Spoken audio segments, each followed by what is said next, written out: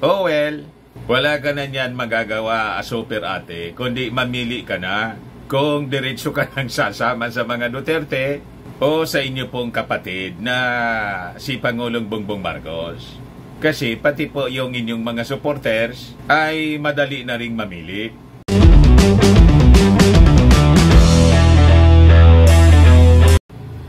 Malungkot mga kababayan si Senator Amy Marcos, si Soperate, bagitan niya Mr. Maravillas. Yung unit team kasi daw, it is now uh, falling apart. Apart. Matagal na. Matagal na po, ano, super ating biyak yung uh, unit team. Kasi uh, may problema po, yung best friend ninyo. o, di ba? ang nagsimula kung bakit nabiyak ang Unity po. Mismong uh, si Inday at ang kanyang uh, pamilya, malinaw yan sa chronology of events. chronology talaga niya, Mr. Maravillas. Tandang-tanda po natin kung ano yung mga nangyari po. Ang nagsimula talaga po, yung kampo ni Inday, nang mag-attempt po si the original member of the Platters. si GMA po, nag-ambisyon sa Congress kasi at imbes na si Inday, mga kababayan, humiwalay kay uh, GMA or dumistansya kay GMA, lalo siyang dumikit. o, di ba? Sinundan mga kababayan ng uh, pananalita niya na tinawag si Martin Romualdez kahit hindi niya pinangalanan na tambalos-los at si Super Ate sumaklulo pa. uh, di ba? Yun ang chronology of events. Tapos, yun na, yung tungkol sa confidential funds. Nang kontra daw sa confidential funds, kontra sa katahimikan. Ang kontra sa katahimikan ay kalaban ng bayan. Doon mga kababayan nagsimula yung uh, problema at ang uh, dahilan po, napakaaga nga ambisyon sa politika. Uh, ito yung uh, sabi dito mga kababayan sa balita. Aimee, nalulungkot sa mga nangyayari sa unit team. It is falling apart, facing criticism. Normal. Di ba? Pero niya Mr. Maravillas, nakarating na sa iyo yung uh, reaction ni Pulong, ay ni Pulong. At tama, si Pulong po, dumipinsa si Pulong sa kanyang kapatid na si Inday na tahimik lang lagi sa issue ng uh, aggression po ng China. Itama naman talaga po yung sinasabi pa ng akbayan president na si David na tahimik si Inday at uh, tingin nila, made in China yung puso ni Inday kasi. at hindi lang si Inday, ng buong uh, pamilya at uh, tropa niya. Ayan, uh, Representative Duterte tells Solon to ask WPS questions from DFA, DND, DND, not from BP. Eh ngayon nga po, gusto nga paimbestigahan mga kababayan ni AK Party List uh, Franz Castro si dating spokesman Harry Roque dapat anya ihayag ni Harry Roque kung ano yung uh, sinasabing secret uh, deals na pinasok ni Maudig sa China alosan niya ibenta na ang Pilipinas sige kasi daldal po ni Harry Roque uh, So yan ngayon mga kababayan, mag-file na po kayo ng resolusyon. Ipatawag ninyo si Ari Roque, pati si Maudigs. Kasi dapat talagang linawin itong uh, alleged uh, secret deals na siyang pinangawakan ng China. Kaya talagang agresibong masyado at gustong ipahatak sa atin kasi to their minds mga kababayan, may agreement daw na pinasok na tatanggalin yung uh, Sierra Madre sa ayungin. o ito yung sabi ni Franz Castro. Halos ibenta na ang Pilipinas. Roque masispill uh, beans on Duterte's deals with China. O ito pa, digong ninoso sa 36 Chinese spy. Sabi naman ni Congressman Ace Barbers, yung mga Chinese nationals ito mga kababayan, continuation ito ng investigasyon nila yung 36 uh, Chinese nationals na nakapasok as auxiliary brigade ng uh, Philippine Coast Guard. Kaya palaan niya, kada bes mga kababayan, magre-resupply mission yung ano, yung ating Coast Guard doon sa mga sundalo natin sa BRP Sierra Madre. May sumasalubong agad na mga Chinese uh, Coast Guard para harangin po tayo. May nagtitip pala po. May mga spies. Pinasok na pin, hindi lang pinasok, pinapasok mga kababayan. In this happened during uh, the administration of Maudigs. Alaga niya, Mr. Maravillas, ang daming unas dito sa ating bansa. Sinabi niyo pa, hindi pa, ano, hindi pa umaabot yung Simana Santa, ah, nagkalat na yung hudas. Matagal na, mga kababayan. More than six years na ang mga hudas dito sa ating bansa. Ah, sa gobyerno mismo, yung hudas. you see? But uh, before ko mga kababayan ibigay sa inyo yung mga maiinit na kwentong yan, click subscribe muna dito sa ating YouTube channel and hit the notification bell para lagi po kayong updated sa mga kaganapan dito sa ating bansa. Like and share na rin po ninyo ng ating video. At wag na rin po ninyo na skip yung ating mga commercial ads para tuloy-tuloy lang ang pagunlad ng bagong Pilipinas. Sa mga naghanap ng malinis and spaces fitness gym, punta lang po kayo sa aming Colossal Fitness Gym. We also offer Grab Car Rental with our brand new 2023 model ng Toyota Innova. We also accept booking for those who are planning to travel via PAL Cebu Pacific and other airline companies, local and international. And bills payment for Meralco Bills, Aleco Bills, PLDT, etc. Ang Colossal Fitness Gym is located at third floor Security Bank Building, Landco Business Park, Legazpi City, Albay. For inquiries, uh, look for Jilon Maravillas, contact number 0966-802-0949. Yan ang aming Innova. Lagi na pong matao sa amin na-set up na rin po yung aming mga bagong gym equipments. May treadmill na rin po kami. Ito naman po yung bago naming uh, product na binibenta online. Eye Glow Serum, whitening po siya. Tingnan ninyo yung epekto sa aking anak na architect before and now. Yung mga inquiries po ninyo, dumiretso na lang kayo sa kanyang Facebook account, Riz Maravillas. Ito naman po, mga kababayan, uh, Firmax Firming and uh, Lifting Cream, pinapahid po sa mga pulses and affected area. Mainam po ito sa mga pains at uh, mga paninigas na mga kasukasuan. Ito, Automax Radiant Serum. Sa mukha naman yung application. Anti-aging po siya. You will look 10 years younger than your age. Sa mga cancer patients naman po, baka lang gusto ninyo itong itry. Ningxia Red Mix Fruit Drink. Hindi man po siya gamot, food supplement siya. Kaya lang, gawa siya mga kababayan sa goji berry. Yung goji berry may anti-cancer properties. O ngayon, yung mga inquiries ninyo, dumiritso na lang kayo sa aming messenger sa Facebook para masagot namin agad. Ayos pa? Ayos na ayos anya Mr. Maravillas. So balik po tayo dito sa ating uh, mga kwento.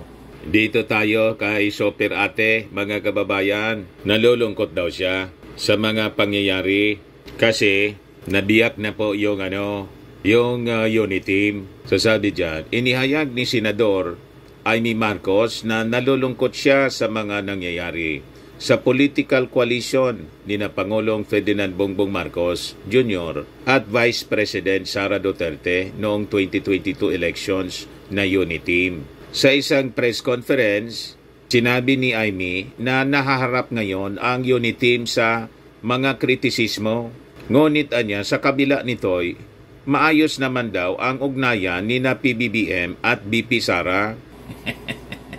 Sa totoo lang po, inaabaan na lang ng ating Pangulong Bongbong Marcos yung pasensya kay uh, Inday Sara.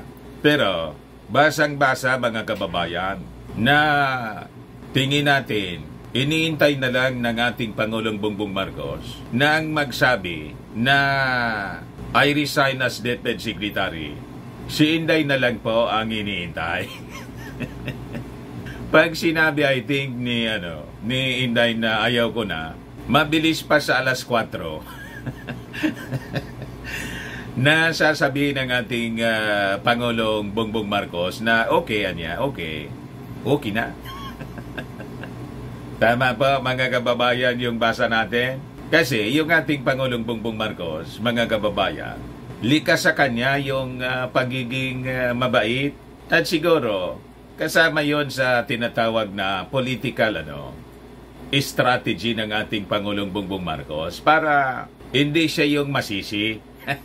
Di ba? Na siya pa yung uh, mama, mamasamain mga kababayan. Kasi yung kabilang uh, kampo po, mahilig uh, mambaliktad. Parang yung China ba? Sabi nga ni Akbayan uh, President uh, David, may posong uh, made in China kasi. uh, di ba? Mahilig mambaliktad. Sila na yung mali. Sila pa yung pabiktim. Sila yung nambibiktima. Sila pa yung pabiktim. Parang China talaga. Yung China yung agresor, sila yung biktima.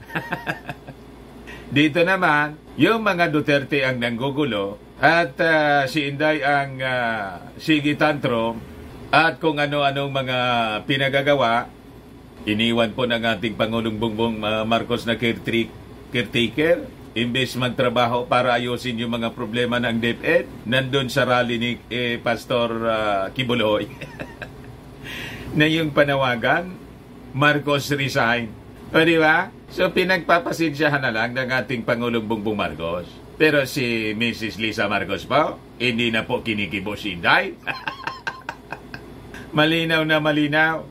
So sabi ni Amy Marcos, I am saddened by the issues within Unity. It is falling apart, facing criticism. Oh well, wala ka na niyan magagawa, super ate, kundi mamili ka na kung diretso ka nang sasama sa mga Duterte o sa inyo pong kapatid na si Pangulong Bongbong Marcos. Kasi pati po yung inyong mga supporters ay madali na ring mamili.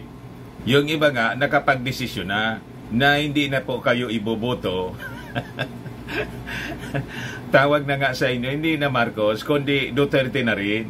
Isabi sa Bible, in everything there is a season in time, a time to embrace, and a time to refrain from embracing. So, I think uh, umabot na tayo sa punto na kailangan mamimili ka talaga kung uh, saan ka sasama.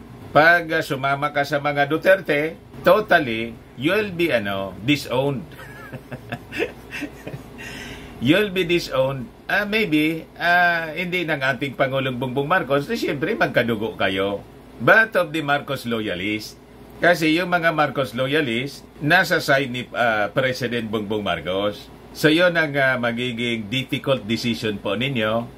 Nasa, nasa sa inyo ang uh, decision. Malapit na po ang uh, 2025 elections. Ano ba? Saan ka sasamang partido?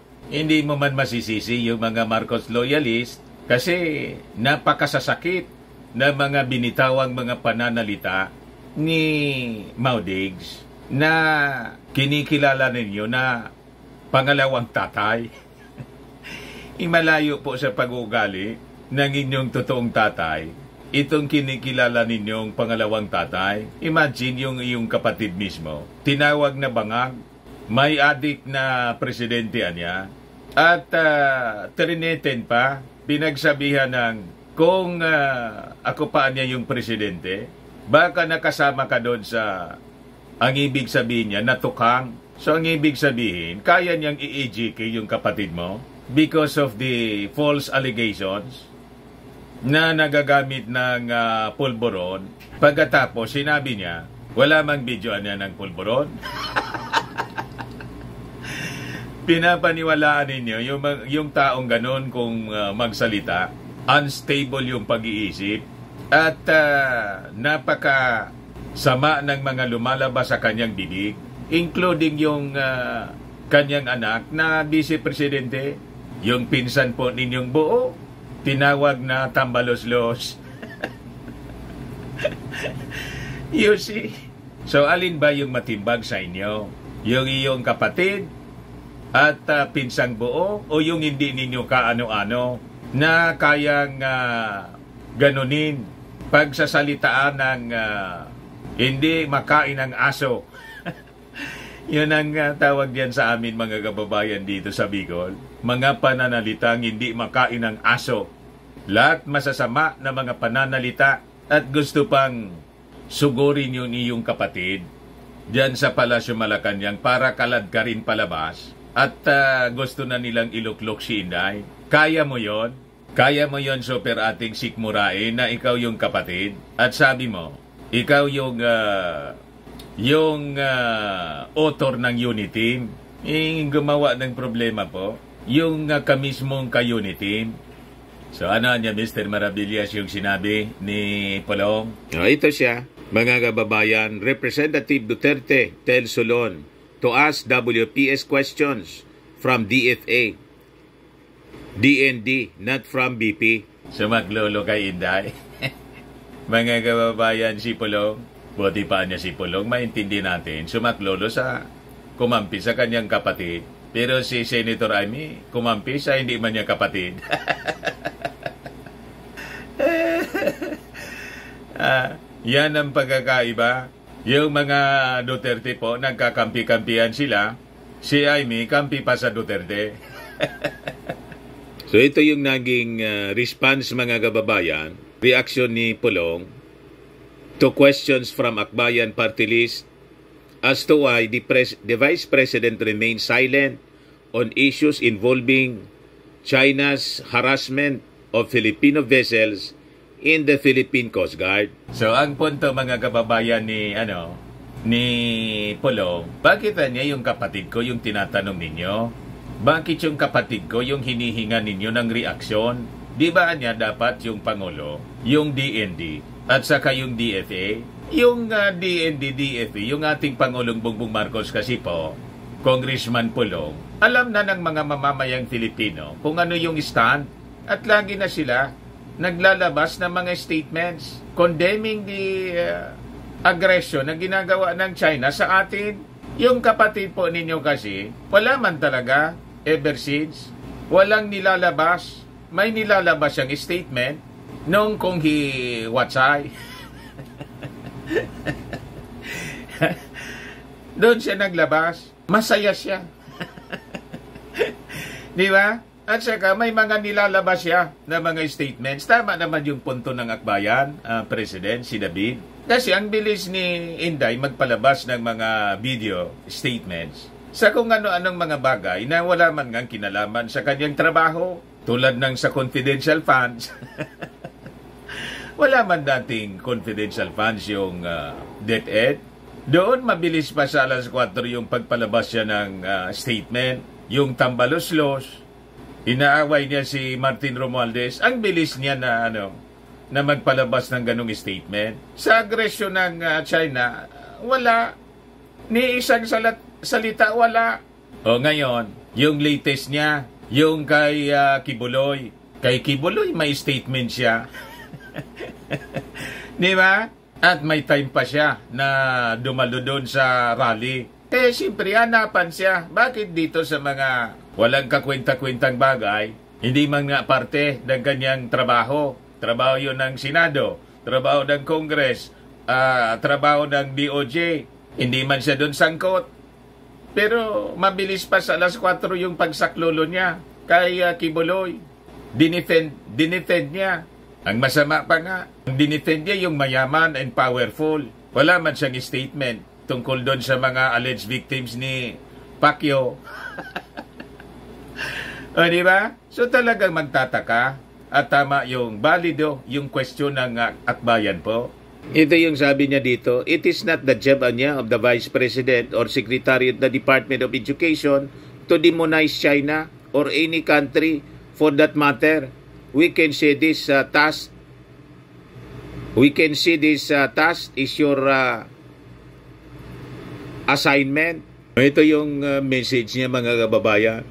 As we pause and pray anya this Holy Week and uh, reflect on the Savior Jesus Christ as He is nailed to the cross, we shall also reflect on why you nail everything to the Vice President. and we fervently hope that your words are not part of the reason why there is action in the WPS. Let us all pray for a peaceful Holy Week for our beloved country that is not disrupted by press, propaganda of akbayan. Daghang salamat. Yan po yung ano, uh, statement ni Congressman Pulong attacking the statement of uh, Akbayan President Rafaela David. E yung statement po ni Rafaela David ng Akbayan, valid po. Kasi nga, hindi din trabaho ni Inday yung sa confidential fund, yung sa terrorism, yung sa pag, uh, ano, yung ang latest statement niya, yung sa pagtaas ng uh, presyo ng mga bilihin, may statement siya doon. Malayo sa trabaho niya sa DepEd, pero may statement siya. o bakit doon may statement siya? Pagdating dito sa issue ng uh, aggression ng China, wala siyang statement. Siyempre magtataka yung ating mga mamamayang Filipino, including the Akbayan President. Tama po? Pero alam naman natin kung bakit uh, wala siyang statement po. Alams na. Ito po ang rason. Halos ibenta ang Pilipinas ng past administration. Kaya gustong paimbestigahan po ni AK Party List Franz Castro. Roque must spill the beans on Duterte's deals with China, sabi po ni Castro. Uh, makabayan sulon ACT uh, Teachers Party List Franz Castro. Bakit ganyan, Mr. Maravillas, ganyan yung talsik ng mga hintotoro mga fingers ni ano, ng mga kamay ni Harry Roque. Hindi ko malaman kung bakit nakaganon siya.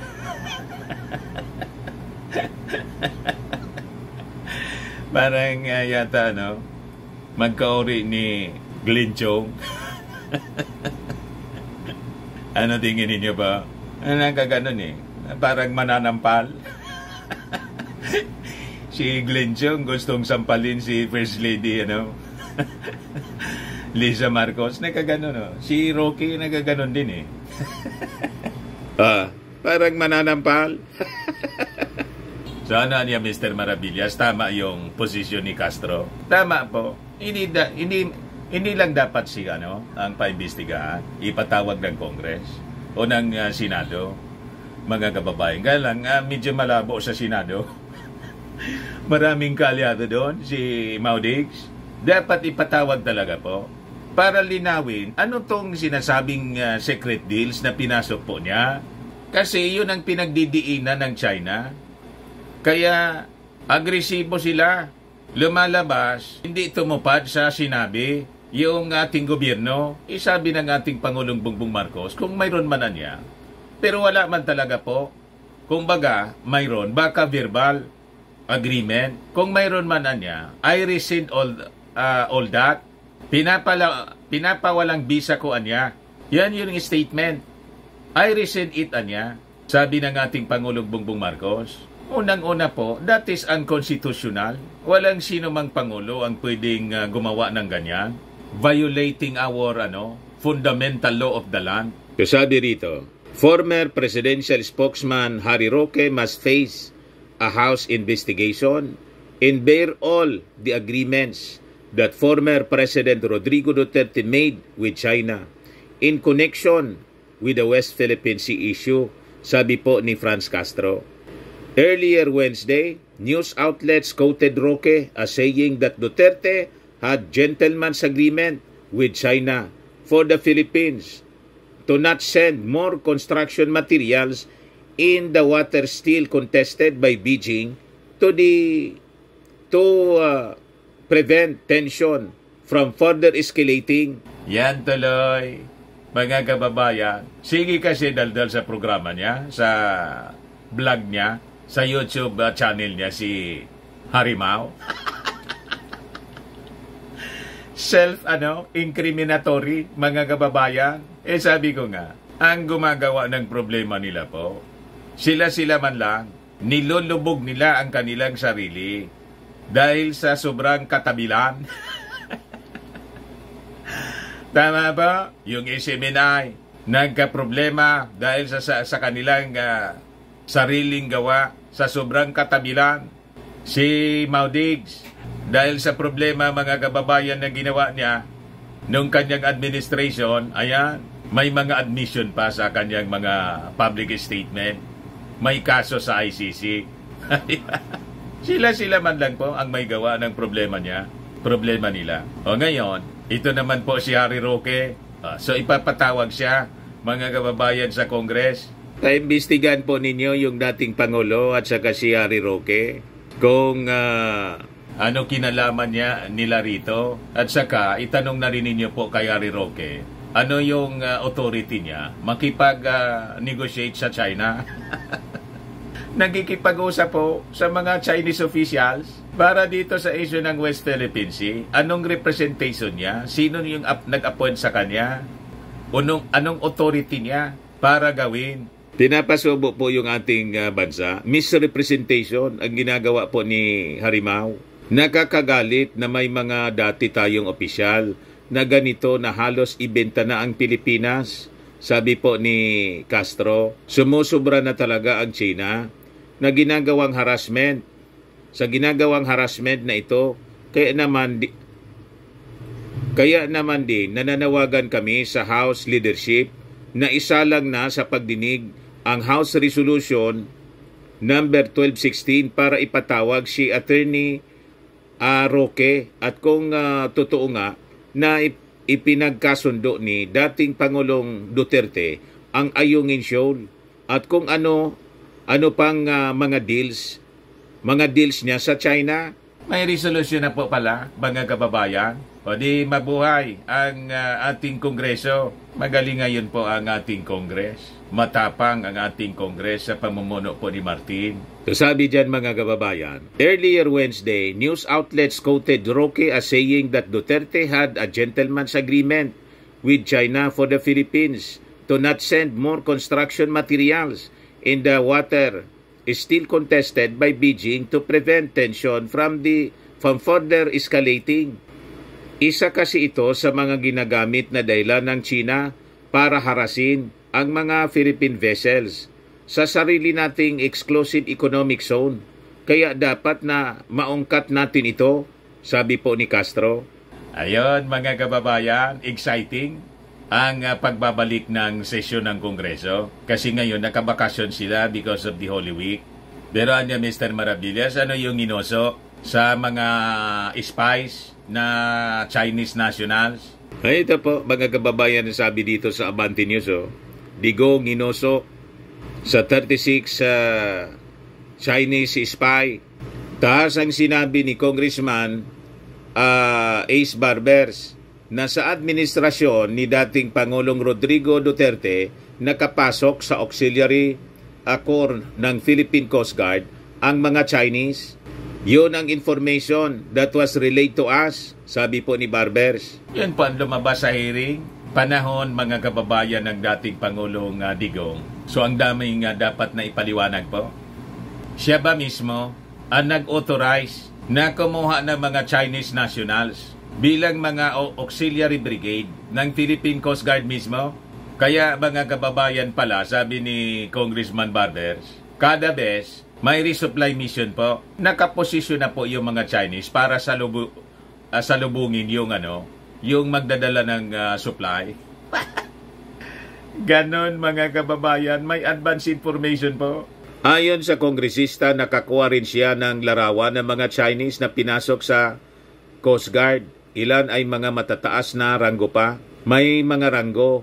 Ipapakita ko yan kapag nagkaroon tayo ng hearing, sabi po ni Barbers. Ang mga espiyang ito, umano, ang posibleng dahilan kung bakit nahaharang ng Chinese Coast Guard ang resupply boat ng Pilipinas patungong BRP Sierra Madre sa Ayungin Shoal. May nakarating sa ating impormasyon na kapag may resupply mission sa Ayungin Shoal sa BRP Sierra Madre, eh nagugulat sila sinasalubong sila ng mga Chinese Coast Guard. Ang aking paniwala riyan, maaari sigurong nakakuha sila ng information ahead of time o naabisuan sila na may paparating na supply mission kaya inaarang tayo palagi paglalahad ni Barbers. Ang daming udas po, mga kababayan. Yung udas nasa gobyerno mismo. Kita ninyo mga kababayan?